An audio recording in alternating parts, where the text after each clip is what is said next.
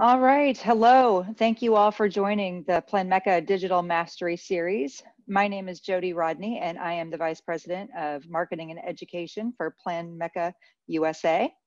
Today is the fourth in our series and with us today is Dr. Clint Stevens from Oklahoma. Our topic today is Evolve with Digital Dentistry, a pragmatic approach to integrating new technology. Before we start, I do have a few housekeeping items. Please note that all uh, attendees will be muted by our host. If you are experiencing any technical issues, please submit your issues via the chat function. If you have questions for Dr. Stevens, please submit them via the Q&A function, and we will answer questions at the end of the presentation. We anticipate the presentation portion to take, take approximately 50 minutes, and we are recording the webinar and it will be available on our registration page. At the end, we will post a CE survey via the chat function. And you must complete the survey to get the CE verification. So without further ado, I'd like to introduce Dr. Clint Stevens. Thank you, Jody. Audio's okay? It is. Great. Okay, hold on just a second. I love technical difficulties right at the beginning.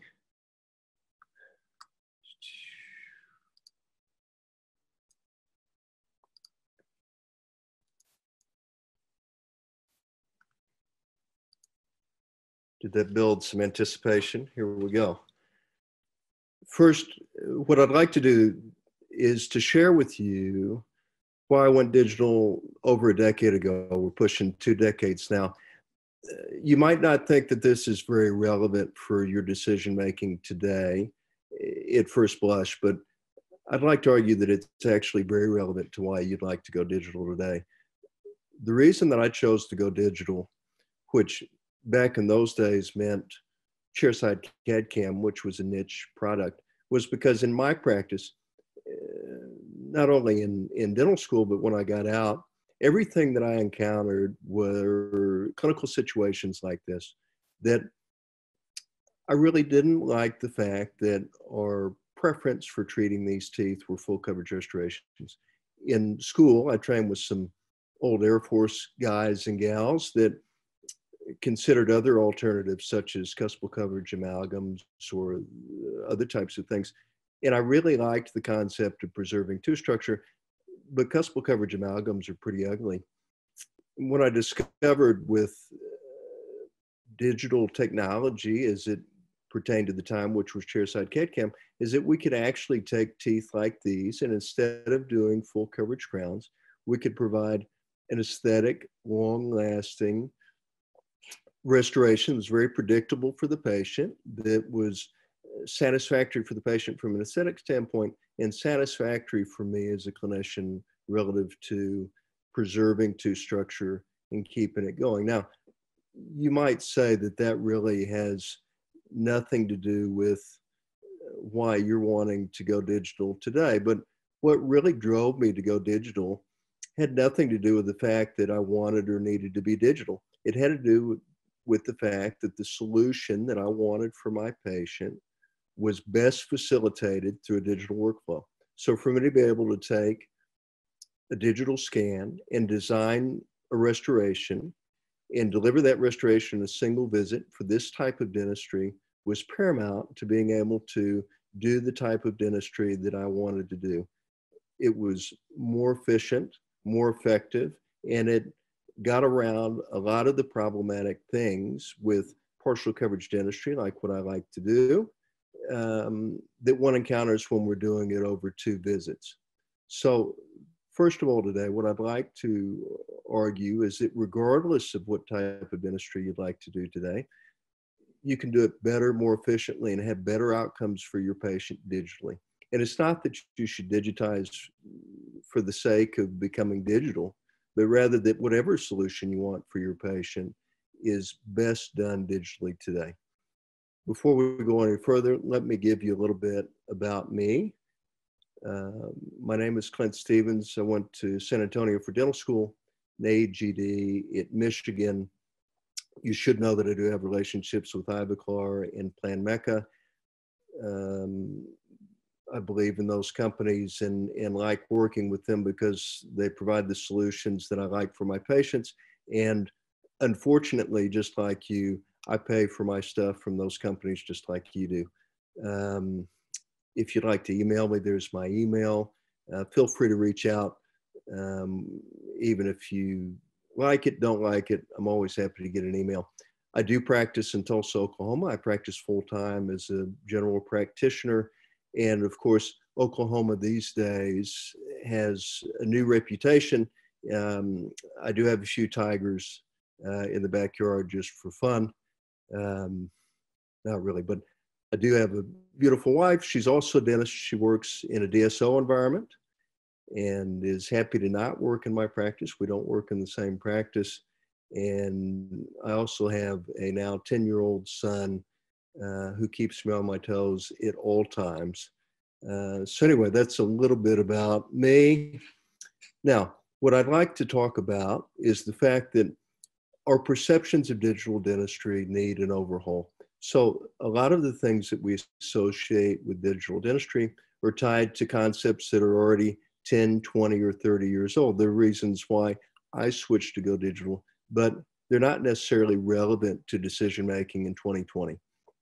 Some of those things that are different are the fact that for a long time, digital solutions, whether we're talking about digital radiography or we're talking about chairside CAD CAM, these types of solutions were just sort of replacement solutions, plug and play solutions that that didn't really change anything, right? We're just trying to get to the same end uh, using a different pathway to get there. It really didn't change what or why we did something. Just sort of changed how we did something.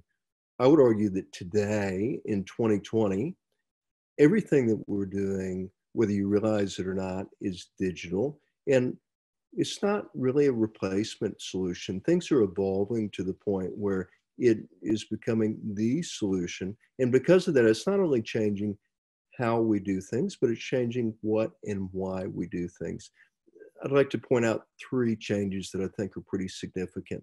One is that laboratories have gone digital. So when you look at it, the way laboratories make things today versus the way that they make th- made things, say even five or ten years ago, we've totally shifted, and and a lot of that has to do, for example, that we've got much better materials today that can facilitate laboratories fabricating monolithic solutions, which historically has been seen as something that's not as aesthetic or not as good as a layered restoration. We've now moved into materials that are extremely aesthetic monolithically, and that just with little surface texture modification can be extremely aesthetic. And it's what laboratories are choosing to do these days because they can get great results with these materials and eliminate a lot of the problems that they have with conventional materials as far as layered ceramics go. So before, we used to knock digital dentistry because of monolithic restorations. Now, these days, it's what labs are choosing to do over layered restorations. And not only that, uh, they're oftentimes milling those restorations. It's also even what dental students are doing. So at certain universities these days, this is a student case from University of South Carolina.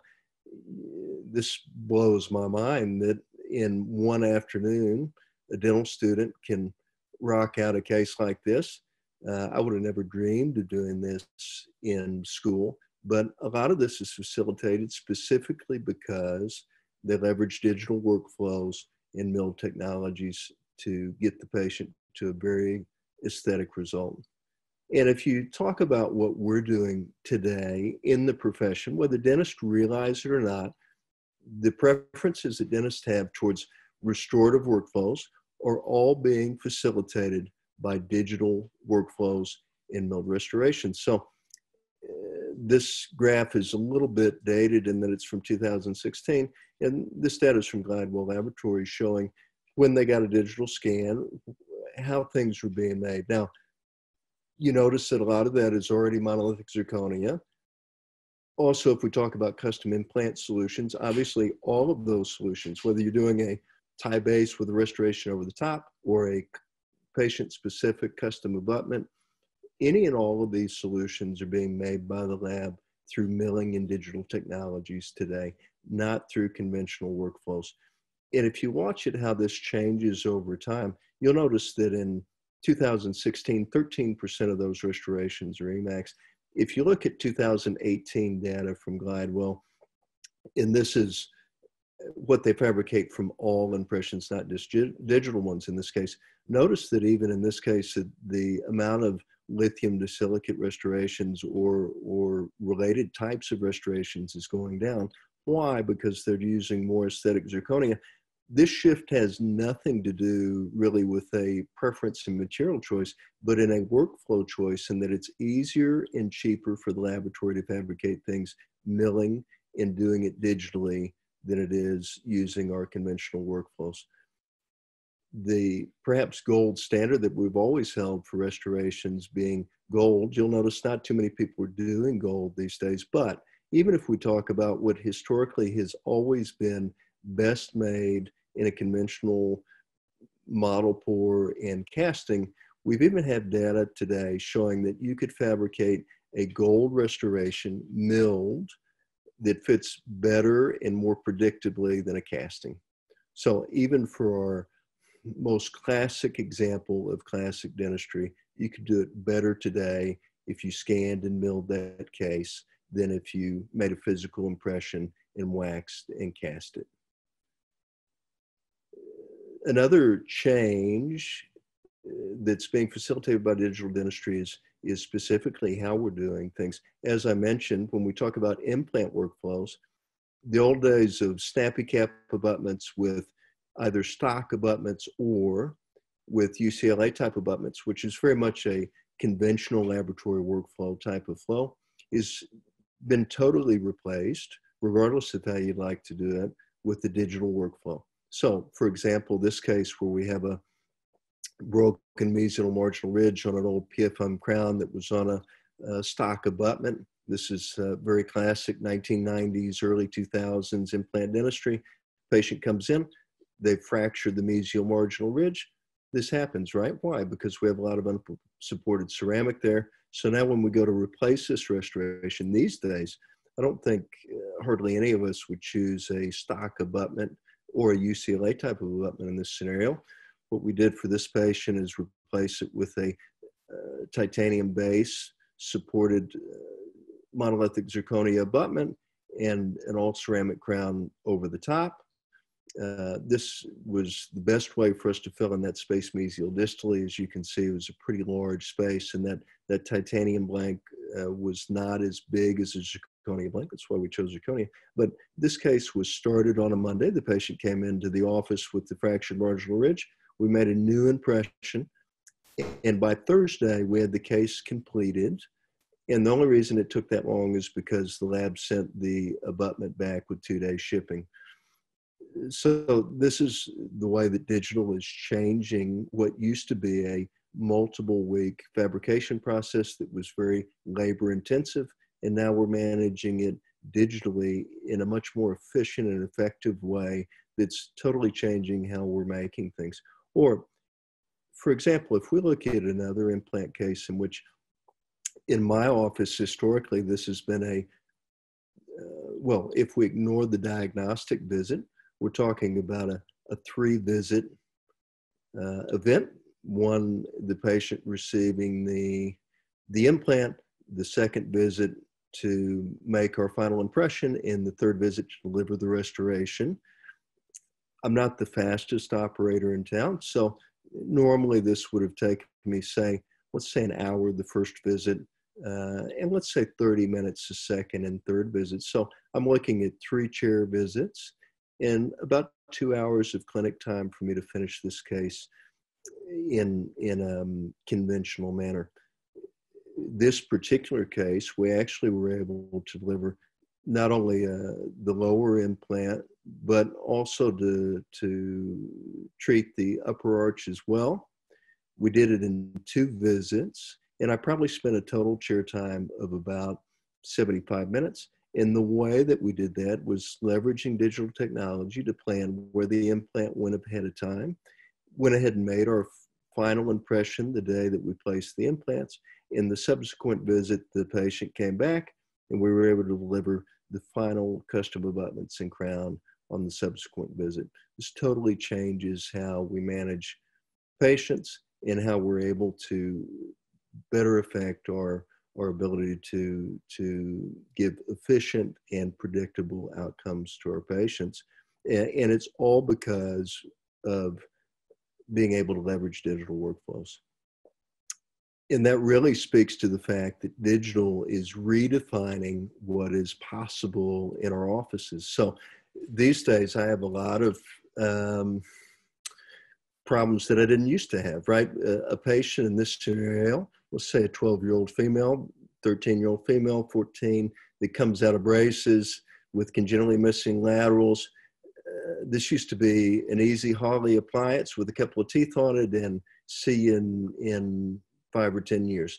Well, if, at least in my practice, and of course, um, I'm in Oklahoma. It's not the the highest demanding area for for aesthetics and these sorts of things, but my patients now demand things that are fixed in the mouth, that are are aesthetic, and the big obstacle for me with these types of cases historically if we're going to say use a resin bonded fixed partial denture some type of uh, quote unquote maryland bridge is that i'm not doing the orthodontics. So first the, the brackets have to come out of the way then then i have to get final impressions and then those restorations have to be fabricated. So historically if a patient wanted a fixed outcome here they would be about two weeks before, uh, from the time they came out of orthodontics until I was able to fix them.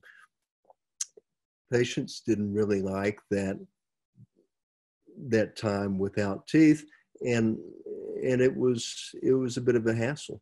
Thanks to digital workflows now, this same case in my office that used to take a couple of weeks now is completed before the patient ever comes out of braces. So once the patient is set up and ready to go, we can go ahead and take the brackets off digitally.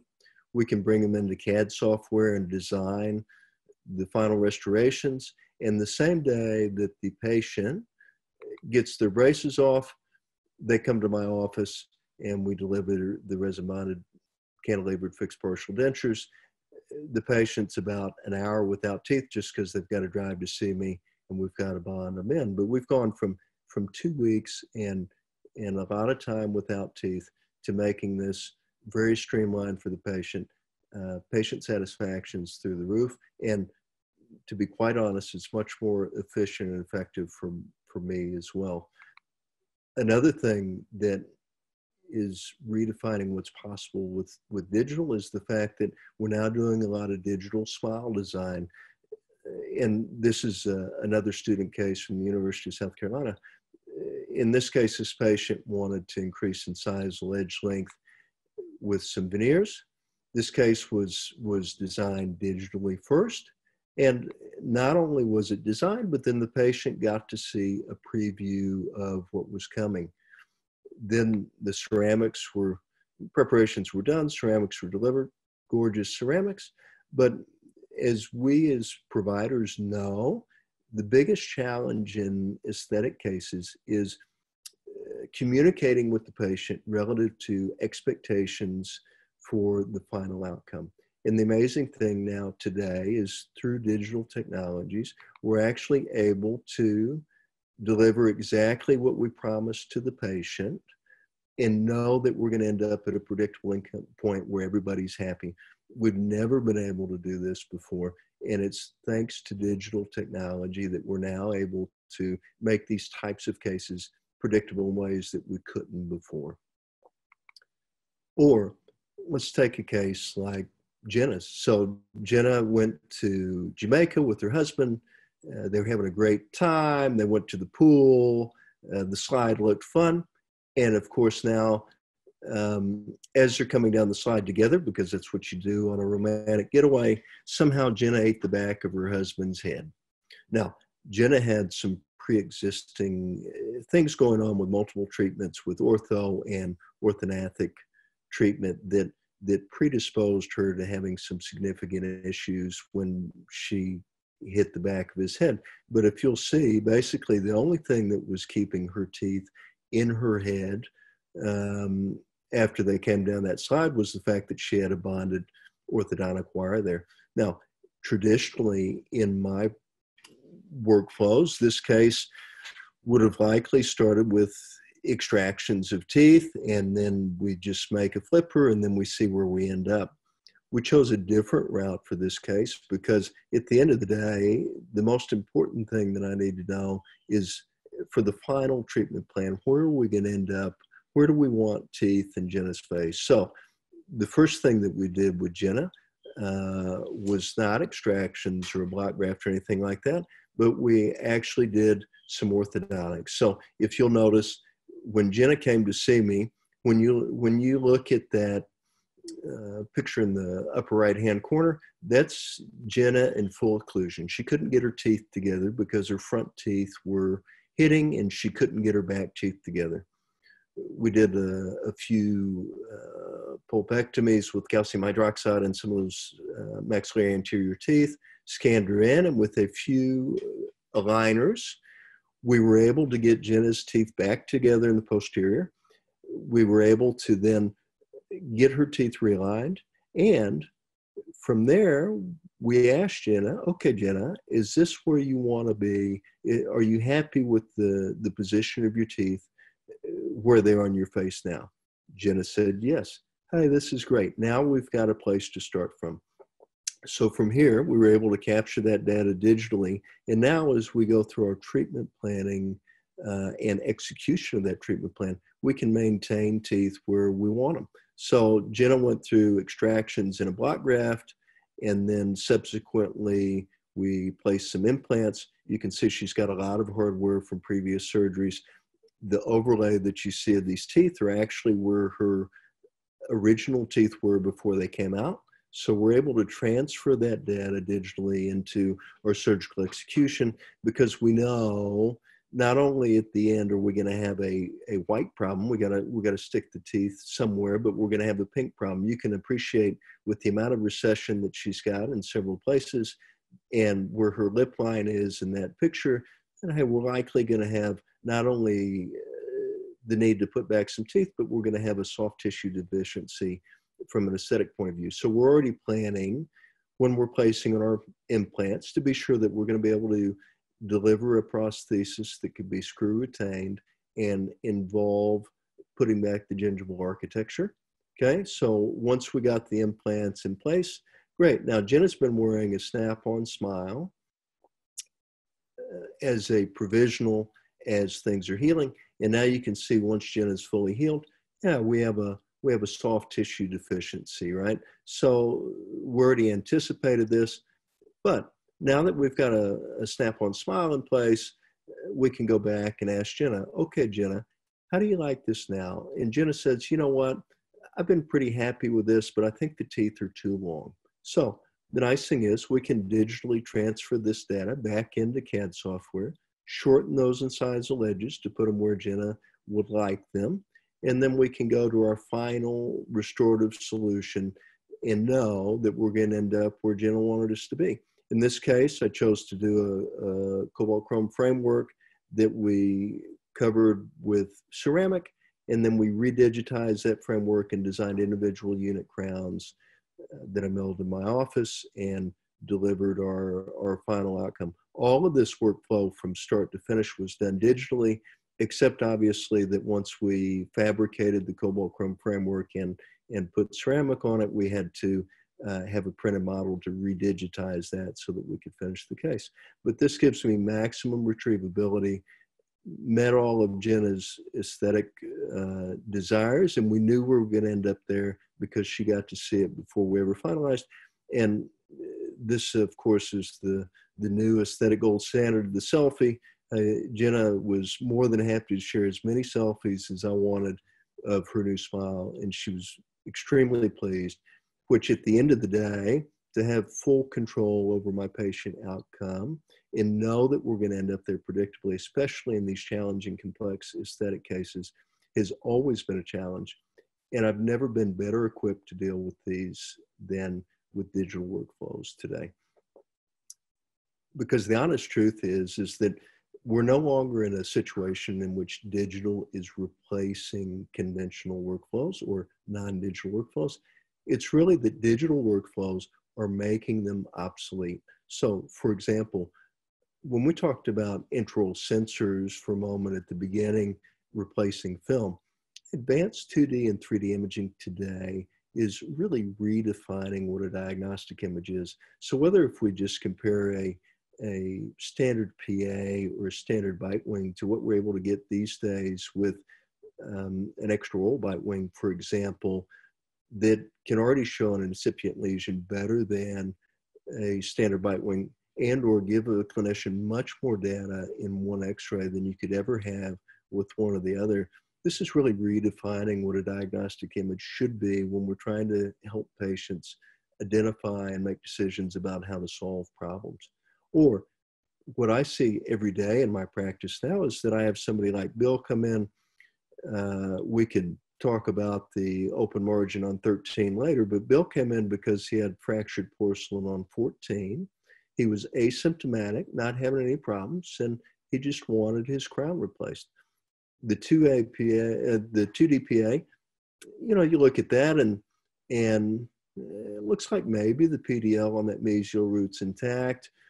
Uh, looks maybe a little weird, but of course we're we're taking a 2D image here. We've got the sinus involved, and Bill is asymptomatic. So Bill just wants me to replace the crown. I said, Bill, hey, before we replace that crown, let's just take a look right? So when we look at Bill in 3D now, we can see that Bill has a huge lesion on the mesial buccal root that was not definable or diagnosable in 2D, but was very apparent in 3D.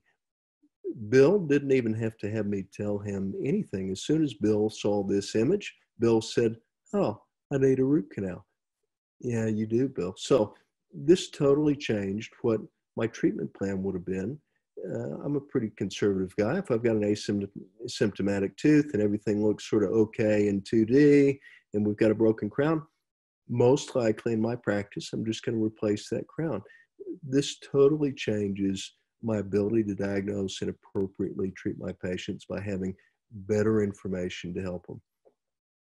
Another example of this that recently was in my practice is Niall's case where uh, he came in and just said, you know what, Doc? It feels sort of funny up here by my by my lip. And his original bridge was done in 1965 after an ice skating accident it was redone in the mid 2000s. I know about the redo because it was done by my predecessor in my practice. And so this existing root canal post core um, fixed partial denture. It's been in the mouth about 15 years. Uh, there's no mobility on the bridge. Everything looks good. And, and I'm looking at this in 2D, and you can probably appreciate that maybe there's a, a lesion around the root there, though in this area we know 2D radiography is sometimes has artifacts that's created by by anatomical structures there. But I said, okay, now let's let's take a let's take a look in 3D. Of course, I'm hoping this bridge stays intact because I think you can appreciate it looks like there's a, a pretty large defect in the bone uh, next to number eight, where number nine used to be back in the 60s. And I'm really hoping that we could just do an apicoectomy here to resolve this problem and get this down the road a little bit. Well, turns out that we have a much bigger problem than I wanted us to have. And then I think you can appreciate that the the start of the bone loss there is right where that post ends, and we have a pretty apparent root fracture with with not a whole lot of buccal plate left to work with. And this is a big hot mess. The interesting thing though is is that at the same time, uh, what we did discover is that we actually have a lot of bone to place an implant in. That huge bony defect was actually just his incisive canal there that was uh, pretty darn big. But now we discovered that that while number eight isn't savable, number nine still is a very viable uh, spot for us to place a dental implant. And so we chose to go with an implant number nine, graft number eight, and see about maybe doing uh, cantilevered fixed partial denture on this, which I'd give you a post-op shot in the mouth, but he travels a lot and no sooner than we got this x-ray, he was out the door and off he goes. But thanks to digital technology, not only did it change my decisions relative to what might be appropriate treatment here, but it helped me avoid uh, complications and problems. It totally changed how I treated these patients. And these types of scenarios in my practice happen on a weekly basis. When we talk about scanning, the scanners, really the first scanners weren't even that great of replacements for triple trays. Today's scanners, I would tell you, are going to totally change how we collect data and monitor patients longitudinally over time in our practices. So, first of all, there are still some misconceptions about how good digital scans are. Let's look at this old data. This is from 2016, which is forever ago because uh, these are systematic reviews and meta-analyses that are done with data that's that's well over half a decade old for them to have been published in 2016. And we already know from that data that what most of us, at least general practitioners, do on a daily basis, which is single tooth dentistry, doing a crown on a posterior tooth, we've already known for a long time that digitally generated crowns, eh, whether they're, eh, regardless of their manufacturing, that if the data is acquired digitally, they're as good or better as ones made with conventional impressions relative to marginal fit and clinical outcome. And we also know that it's not just quadrants anymore. So if you start to look at data on um, implant supported fixed hybrids, where you start to look at orthodontics, we have a lot of data now showing that digital scanning is meeting or exceeding conventional outcomes when we start to talk about these things. In fact, if you look at the systematic review, uh, for example, with orthodontics, they state that digital models could be considered the new gold standard in current practice. This is not just a, okay, it's as good. This is a, hey, this is the new gold standard. So it's not really for quadrants anymore. And if you look at how things are developing rapidly now over time, we're getting to the point where our, our last holdups relative to uh, full arch impression making, which is really where digital scanners have been most challenged to meet conventional impressions. We're now reaching the point where you have multiple scanners on the market that have no significant differences in making impressions when we're making full arch impressions. So the, uh, for example, you can look, this is some data from uh, University of South Carolina's group who have published a lot on this topic. Um, there are a ton of scanners out there today, and we look at, at full arch trueness and dentate models, and we're reaching the same numbers now with the edentulous models. Uh, we are absolutely reaching the point where conventional impressions are being surpassed by digital impressions. If you want to know on this graph where PVS impressions would land, then this is about where PVS comes out in their data. So all of those other scanners are showing more trueness cross arch than a conventional PVS impression. Now, you also have to ask yourself, when's the last time that we had a significant improvement in impression making outcomes with PVS? The answer to that is probably about 20 years ago. Uh, now, with digital scanners, you can even see on this chart uh, the same hardware with different software or changes in hardware can overnight uh, make the the accuracy or the trueness of a scanner twice as good overnight and it's constantly evolving so while we're stalled out we're never going to get any better with physical impressions than we are right now. However, our digital impressions are constantly evolving and changing and will continue to do so for the foreseeable future to where we're really going to leave physical impression making behind. So, before when we talked about digital dentistry and and we're we're talking about CAD CAM chairside CAD cam and that was it. And we talk about same visit treatment. Oh, that's great. But now I would argue that integrated comprehensive dentistry can be done better digitally than ever before. So whether we're talking about interdisciplinary diagnosis and treatment planning, whether you're working with a surgeon or an orthodontist, whether we're looking at airway, we're looking at TMJ, we're looking at integrating a smile design, any of these sorts of things, not only in the treatment planning phase, can be done better digitally and integrate data that you can't integrate in a non digital landscape, but also when you go to execute that treatment, whatever that solution might be, you're going to have more predictable results and more control over your outcomes being digital than ever before. And digital is now making same visit treatment not just about fixing a tooth with a crown or partial coverage restoration. The other day, we printed a surgical guide in 38 minutes. Well, now all of a sudden, uh, things that used to be multiple visit appointments are going to start to be pushed into single visit appointments thanks to digital workflows. In contrary to the popular belief uh, or beliefs that we have in dentistry, going digital doesn't mean any of these things. It doesn't mean that you need to become a radiologist. You can take a 3D image and get a board certified radiologist to read that scan for 70 bucks. You don't need to do anything there that you don't want to do. Uh, there's a perception that if you get a mill, you have to become a lab technician.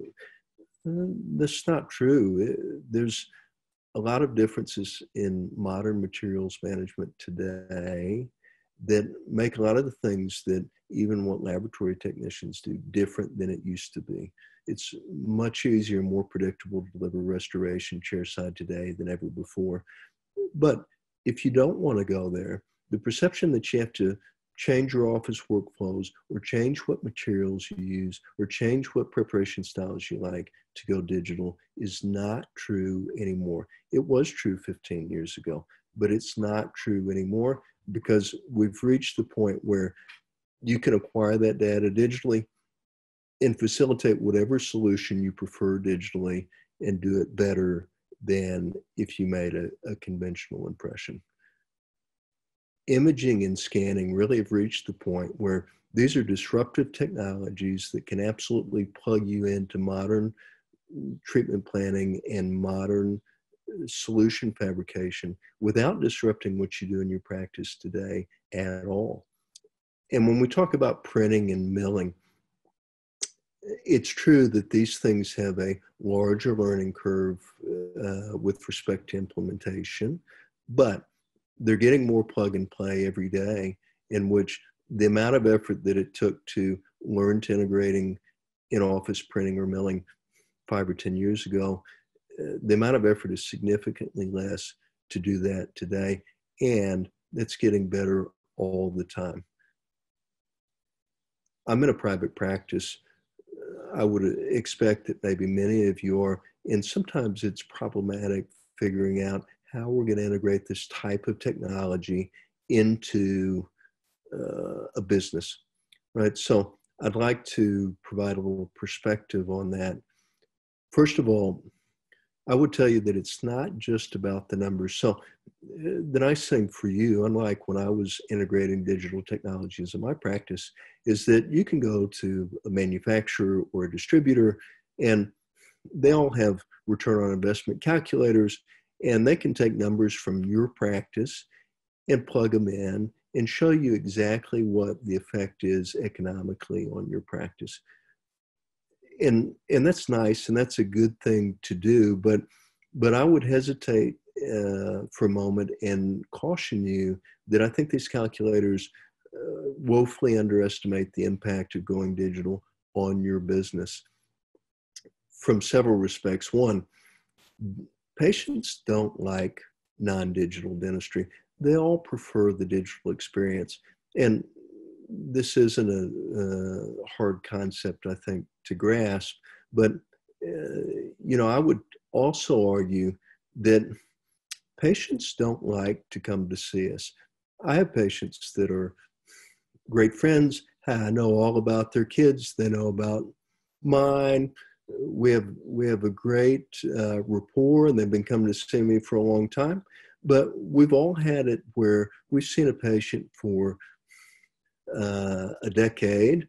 They've come in and seen us a lot of times, and then they need a tooth fixed, and they come in and you're trying to get a lower block and they were flustered getting to the office and you don't get the block the first time and then they're still sort of not numb and then you have to add more and we have a uh, an adverse experience right? And all of a sudden this patient is just moved their job. It's not convenient to come to you anymore. And even though they've seen you two dozen times and have great experiences and know your kid's name and everything hey, now all of a sudden, because of that negative experience, they're thinking about maybe switching dentists because there's one that's closer to the, where they're working now and it's more convenient. And that that uh, less than ideal experience uh, sort of sets them off. For me, as a business owner and somebody that's trying to keep patients in my practice, those types of complications or adverse events are, are really a negative thing on my business. I would argue that by leveraging digital technologies and being able to oftentimes eliminate second visits or eliminate other visits with patients, you're cutting the number of times in half that you can screw it up. In other words, uh, you can not have to have that second visit.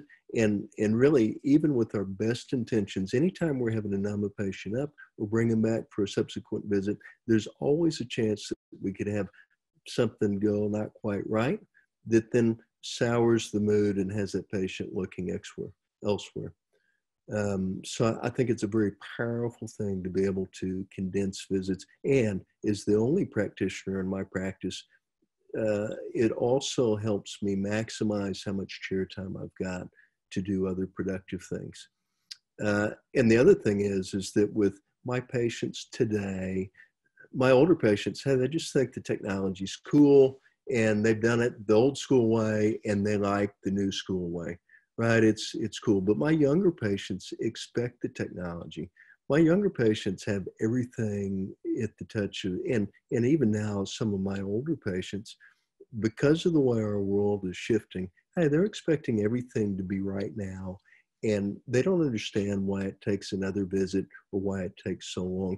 They have expectations set, and the expectation is uh, much more aligned with the digital reality than it is with the non digital one.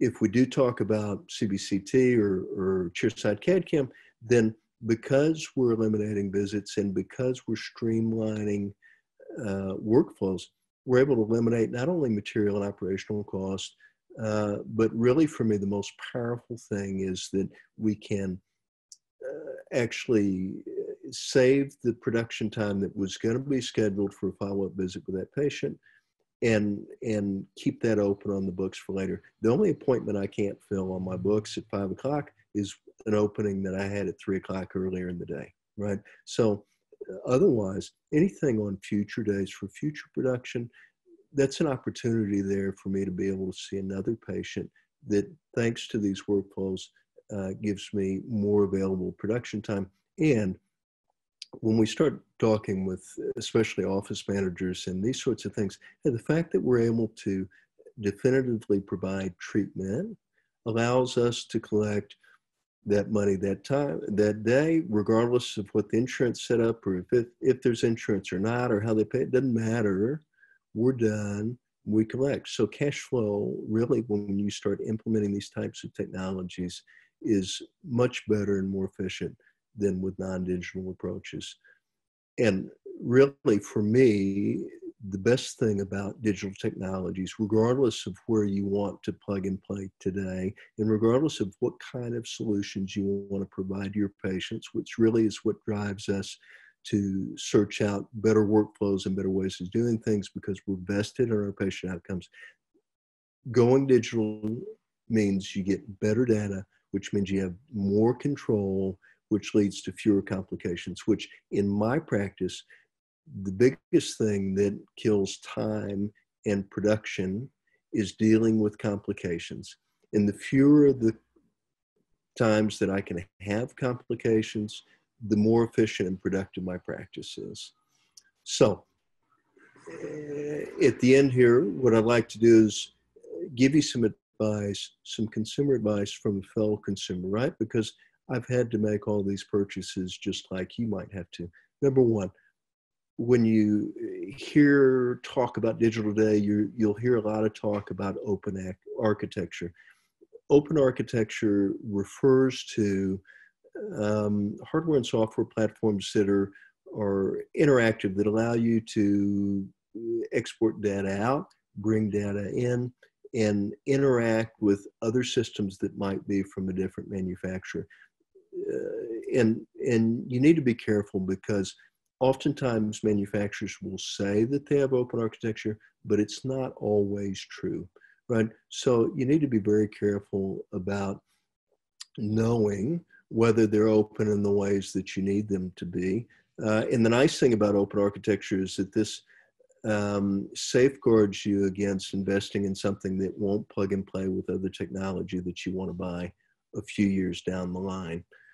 Um, so when you're looking at new technologies, I'd, I'd, encourage you to pay careful attention to several things.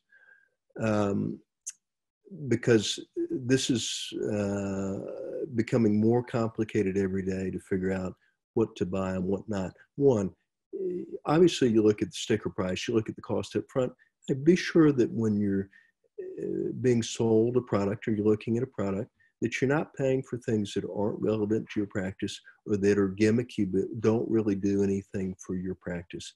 Right.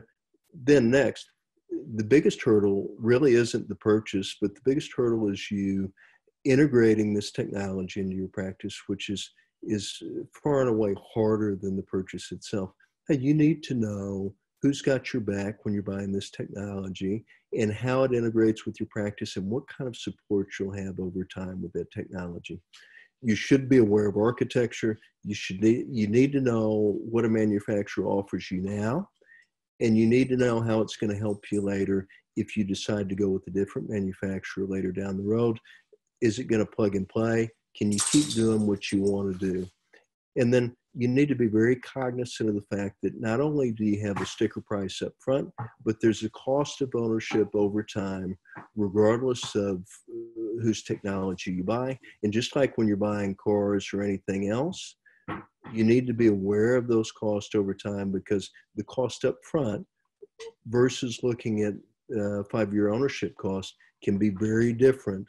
And you need to be sure that you get good numbers to know where you're going to end up on that.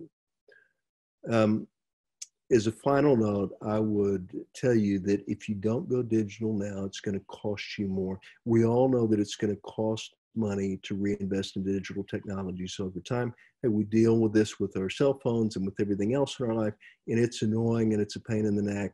But not investing in digital technologies at this point is going to put you behind for several reasons. One, we already know that there are digital workflows for almost everything you do that are more efficient and cost effective than what you're doing now.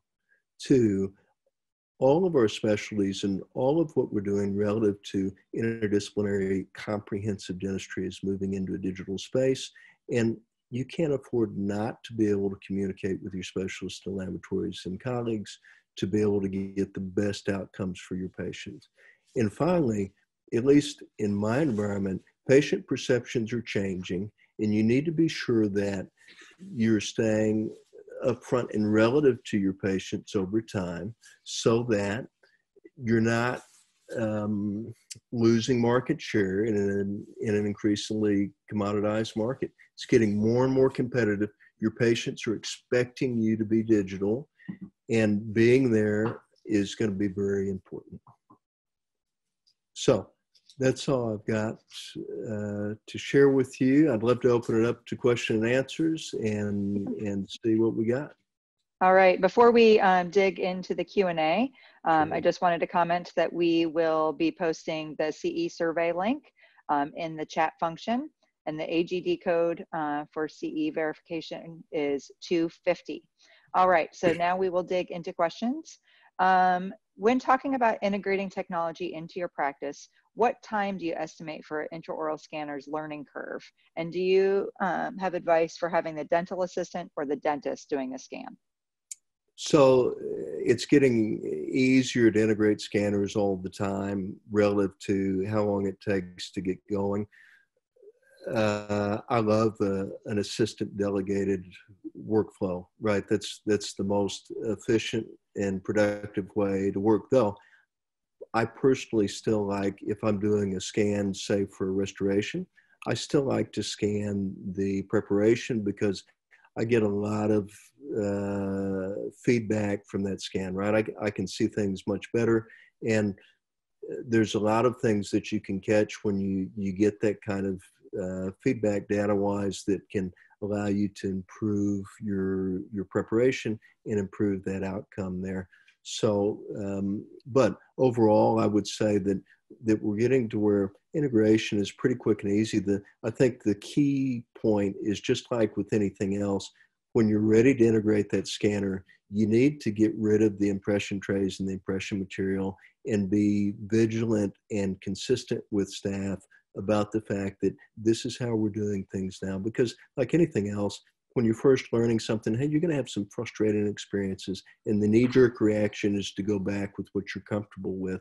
So, uh, really, the the best piece of advice I have for for practices that want to do that is that you have to eliminate that as an option, not let them use their current workflows um, or you know physical impressions as a crutch, and force them to go digital. And I think you'll be pleasantly surprised about how quickly that transition can happen.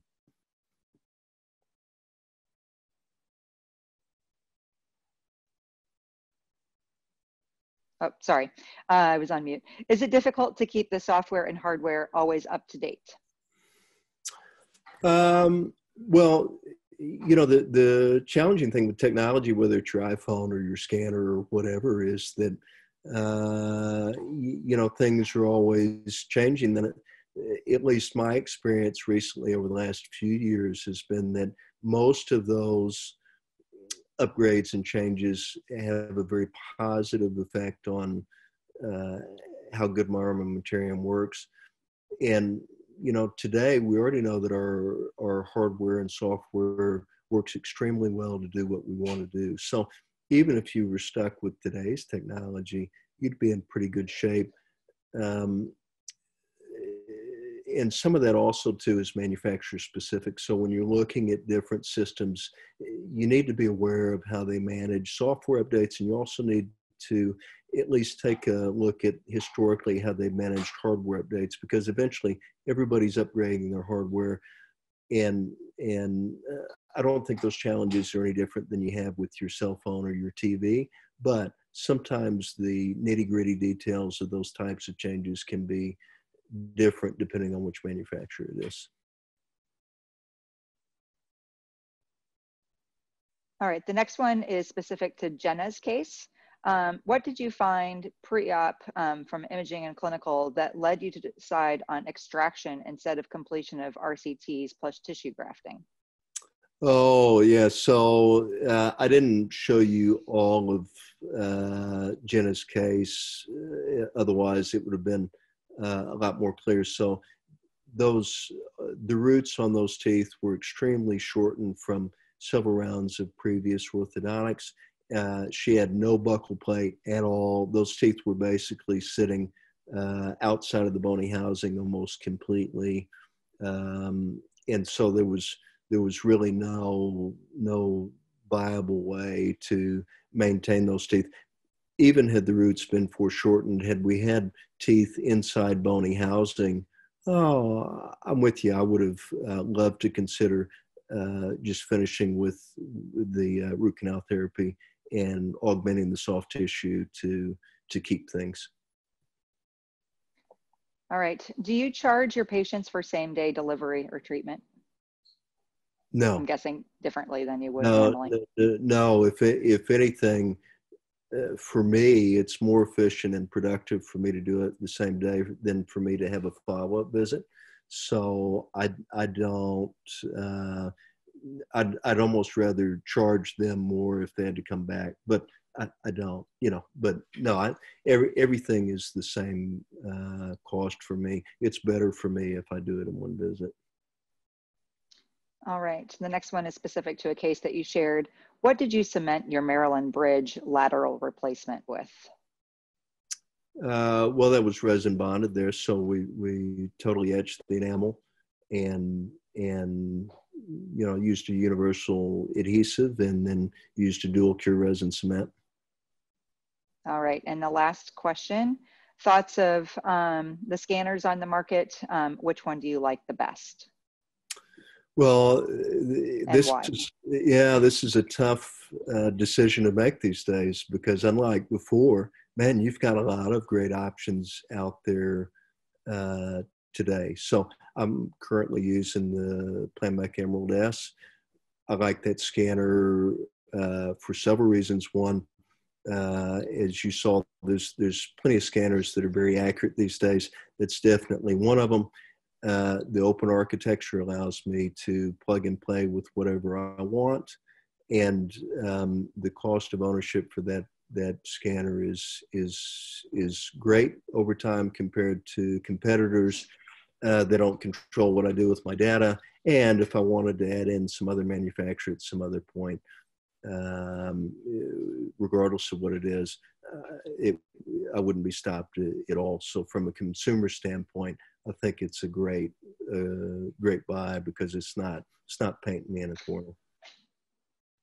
Great, thank you. Um, I appreciate all of the questions um, and thank you for your time, Dr. Stevens. Uh, hopefully, if you wanted to shoot him an email, uh, you saw his email uh, at the beginning of his presentation. Again, the presentation has been recorded um, and it will be available within a few hours um, on our registration page. Thank you much for your time and have a great day. Great. Thank you. Thank you.